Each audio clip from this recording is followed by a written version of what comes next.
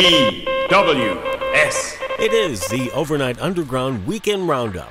Taking a look at the stories we covered this week on the Overnight Underground. Possible coronavirus vaccines could be on the way. Michigan based Moderna has gone on record that early results from their COVID 19 trial vaccines are showing promise. All 45 participants in the trials developed antibodies against the virus. The incredibly strange creatures who stopped living and became mixed up zombies. Needless to say, Moderna's stock price has also been a big gainer today, up around 40%. Can anyone say pump and dump? Just pump up the volume and call me Kitty.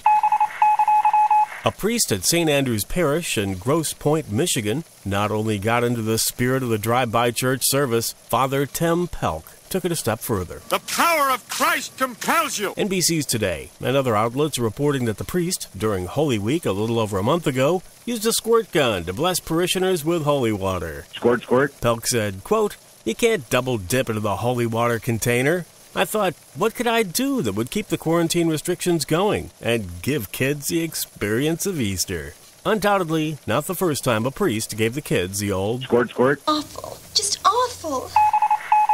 Your cute little pussycat? He's a cold blooded killer. A new Australian study, as reported by the LAD Bible, house cats who strut their stuff outside the home are stone cold killers. The study, published in Wildlife Research, notes that a single domesticated pet cat is capable of snuffing the lives of up to 186 reptiles, birds, and mammals in just one year. That's the first indicator of a serial killer, you freak. Jeff Dahmer would have been envious.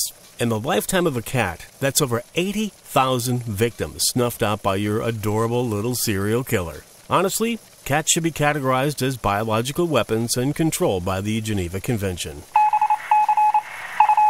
Let's see, what else we got here in the circus that is American politics. On Monday, Joe Biden moved out of his basement for his latest virtual town hall digital disaster. He decided to let the sunshine and fresh air in from his vestibule as he chatted with the American public. The only problem was, invading Canadians were very vocal with Biden's streaming appearance. You know, the people who weren't necessarily prejudiced but just didn't focus. That's the geese you hear in the background.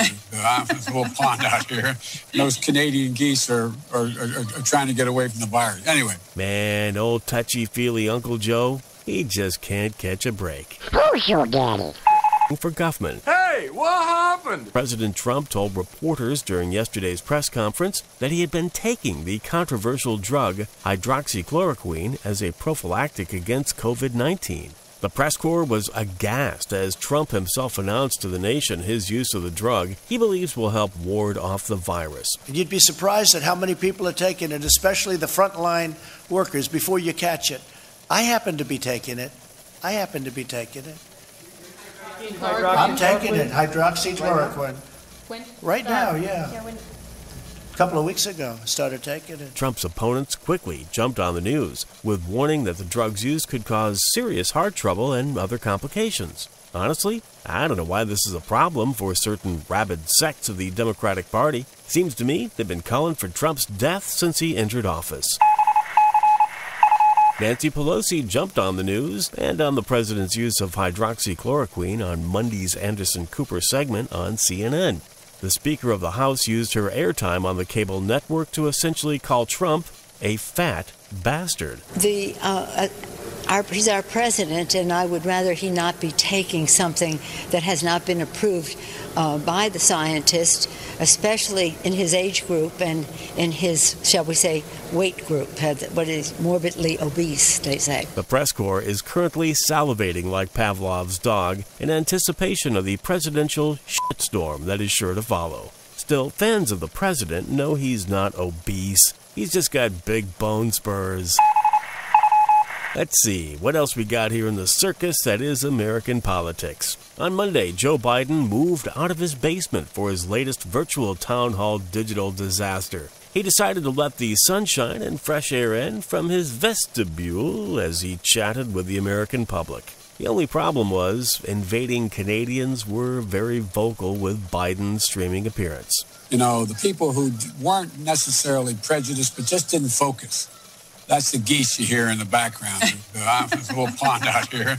Those Canadian geese are, are, are, are trying to get away from the virus. Anyway. Man, old touchy feely Uncle Joe, he just can't catch a break. Who's your daddy? There's been quite a spike in the moronic behavior index over the last few days. In Volusia County, Florida, the sheriff's office had to break up a block party that numbered in the thousands. WFTV News reports police noted there were multiple arrests, and numerous deputies were injured in altercations attempting to break up the melee. I want to party with you, cowboy. I say, why not hide your identity with a watermelon? That was the cunning plan hatched by two thieves in Charlottesville, Virginia. The Smoking Gun notes that two lads decided wearing hollowed out watermelon rinds on their heads was the perfect disguise for stealing alcohol from a Virginia convenience store. Uh, guys, you got it bass backwards. You put the booze in the watermelon, not on your noggin, you numbskulls. I've come to stick my head in a bucket of something nasty.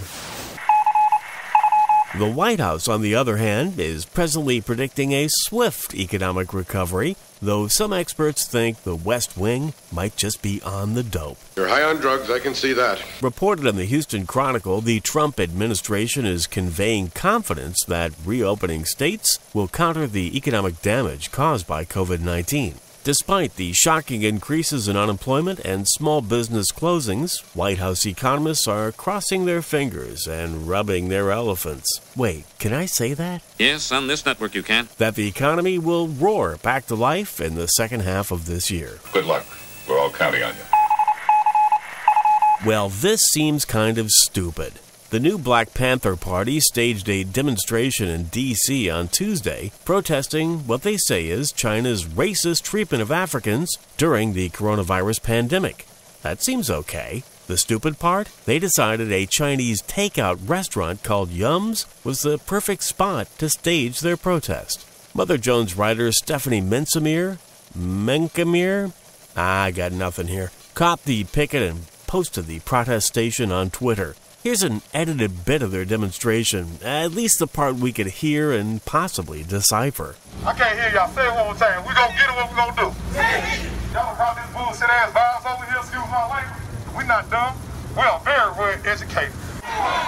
We are here in the honor of him because he said his blood shed for us to be here standing where we are today. According to Mint Samir, the restaurant Yums is a quote beloved DC institution and home of the city's signature dish chicken wings, and mambo sauce. You know, you just can't make this shit up. You can't beat the classics, I only see. Today's big political attention whore move has reached spinal tap like levels. These go to 11. Pelosi and Schumer are requesting Trump fly flags at half mast when the death toll from the pandemic reaches 100,000 here in the U.S. Talking Points memo reports the pandemic duo sent the letter to his royal orangutan on Thursday requesting the move. Come on. Trump hasn't flown anything over half mast since Marla Maples. He'll be as hard as a rock in a minute. What's better than a food fight? I don't know. How about a paint fight? Okay. Four men at a Tampa Home Depot got into an altercation over, well, who the hell knows? It's Florida after all. From the video, it's hard to make out just what the men are fighting over, as they don't appear to be speaking the English. But, uh, man, let me tell you, the paint was really flying. Maybe they were arguing over whether their paint should be shaken or stirred. Shaken, not stirred. That video, of course, available on today's OvernightUnderground.com. Paging Dr. Fauci. Where the hell are you? If you're still watching one of those endlessly depressing news channels, you may be asking yourself, how did I get here? No, the real question is, where did Dr. Fauci disappear to? CNN reports that Fauci has been MIA from national television interviews over the last couple of weeks. His last interview was on May 4th with Chris Cuomo. Fuck you, asshole. Speculation is that with the White House's communications team changing its PR strategy for the pandemic, Fauci has been put on the back burner. Maybe he's busy designing women's panties. It's not true. It's absolutely not true. Business Insider reports that an LA based company is now selling women's underwear, emboldened with the names of Fauci, Governor Cuomo, and Gavin Newsom. According to Canva, that's the company cashing in on those three sexy fellas. What do you want out of life? A fella. The panties have been selling like hotcakes. You know, I've always wondered just where is it that hotcakes sell so well?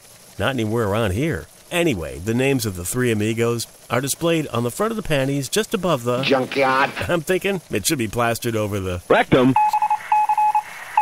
And other underwear related news Victoria's Secret looks like it's going bust. Is this some kind of bust? KIRO 7 News reports the Skimpy clothing chain is closing nearly 250 stores nationwide. The parent company, L Brands, also announced the shuttering of 50 Bath and Body Works stores. Sorry, I, I didn't hear you. I was staring at your breasts. What do you say? Let's slide this little item in, the soundbite of the day.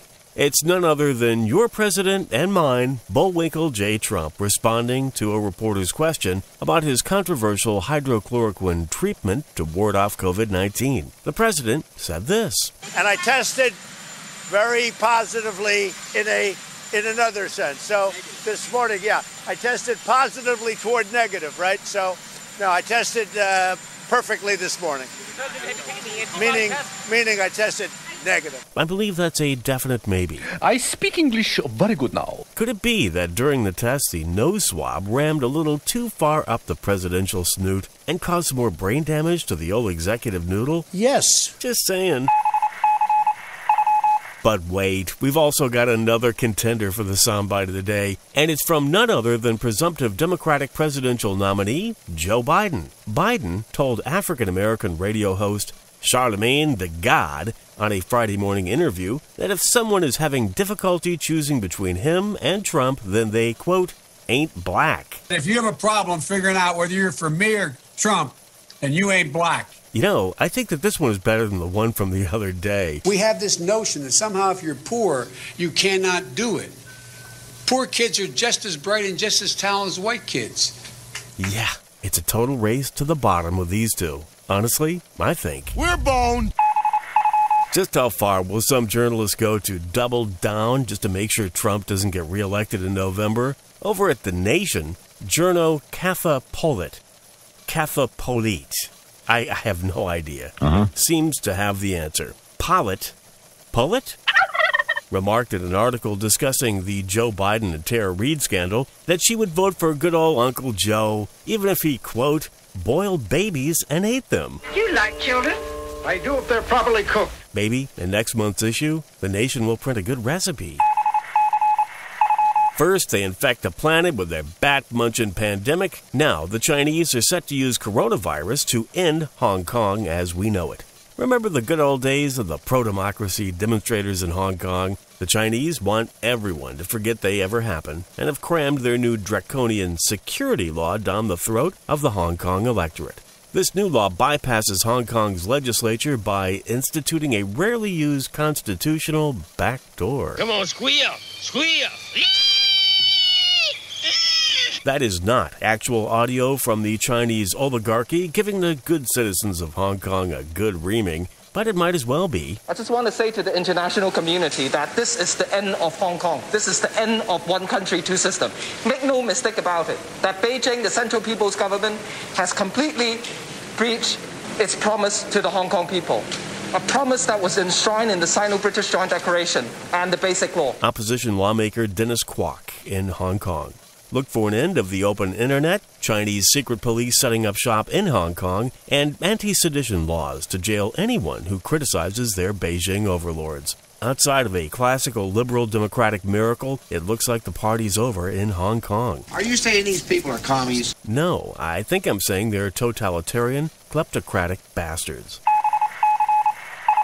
The Georgia man who filmed the shooting and death of Ahmaud Arbery has himself been arrested on murder charges. USA Today reports William Roddy Bryan was charged with felony murder and criminal attempt to commit false imprisonment in Arbery's shooting death. Bryan had claimed he was only being a good Samaritan when he filmed Arbery's death, but a newly released expanded version of the video apparently shows Bryan also chasing Arbery. Bryan then allegedly filmed while Arbery was shot dead. And not all these people are lovely, nice people, believe me.